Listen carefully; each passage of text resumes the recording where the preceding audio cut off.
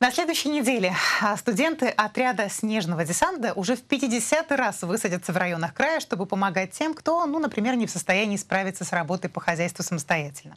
Сегодня у нас в гостях директор краевого штаба студотрядов Евгений Якунин, и мы будем говорить о том, как ребята помогают и, быть может, где-то отдыхают. Евгений Владимирович, здравствуйте.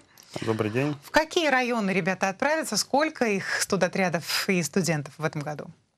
В этом году у нас сформировано 19 отрядов именно студенческих и один отряд ветеранов «Старая гвардия». Итого 20 отрядов общей численностью более 450 человек. Э, отправятся они в 20 муниципальных образований. Это у нас так называемая Кулундинская сторона, э, порядка 10-12 отрядов. И вот ближайшие районы это вокруг Барнаула. Но так выпало у нас по графику, утвержденным правительством Алтайского края. Ведь э, начинали еще был один всего отряд, да, у вас, а теперь уже их 20 считай. Да, я помню, когда мы начинали в 2000-х годах, был один отряд «Синяя птица». Кстати, в этом году ему исполняется 40 лет. Э, и постепенно-постепенно движение разрослось в Алтайском крае до 19 отрядов студенческих. Вот третий год подряд будут выходить ветераны на маршрут. И э, в нашей организации «Российские студенческие отряды» мы стали опорной площадкой. А почему именно Алтайский край стал опорной площадкой? Э, потому что акция, она была у нас возрождена, мы ее ни на один год не прекращалась в Алтайском крае. И когда во всей стране не было студенческих отрядов, когда не было снежного десанта, именно мы э, стали показывать эту акцию. К нам стали активно приезжать ребята из других регионов, стали брать у нас опыт. И на сегодняшний день наш опыт мы протранслировали уже почти на 45 регионов Российской Федерации. Это вся Сибирь. Ну и скажем больше, что это и Дальний Восток, и Крым, и Краснодарский край, и Калининградская область.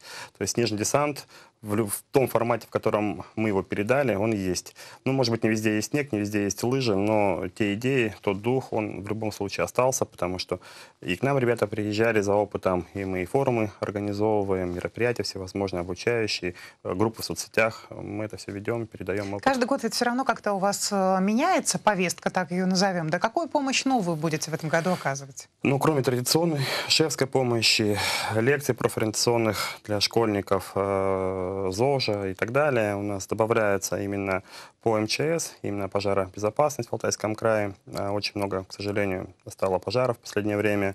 И ребята будут два направления работы. Именно ребята будут рассказывать про пожаробезопасность. Совместно с МЧС мы организовали а, обучение э, подобное, да.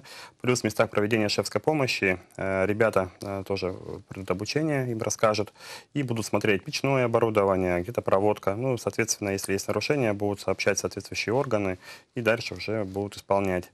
И второй, это все мы знаем, что 3 июня будет отключено аналоговое телевидение, поэтому ребята также э, прошли обучение и будут и рассказывать. Э, информационная, да, будет поддержка в районах, плюс прошли обучение и будут э, там в местах проведения шефской помощи будут настраивать телевизоры там, этому, э, ну, тому, этому населению, которое будет просить помощи.